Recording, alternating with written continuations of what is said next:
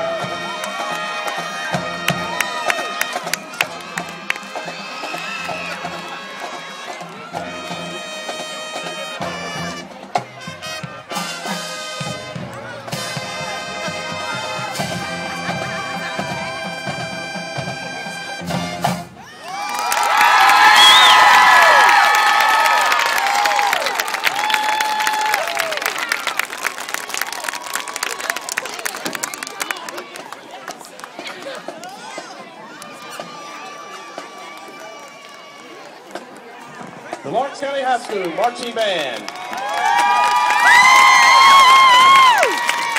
The Lawrence County High School Band would like to wish North Pike and their band members good luck at tomorrow's contest at Copiah Academy. Good luck, bands. The LCHS Band Boosters would also like to thank Ramey's Marketplace for their support and great values.